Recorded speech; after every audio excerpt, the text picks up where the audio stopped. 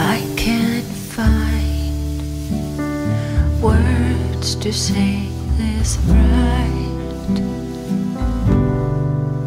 It's impossible to describe.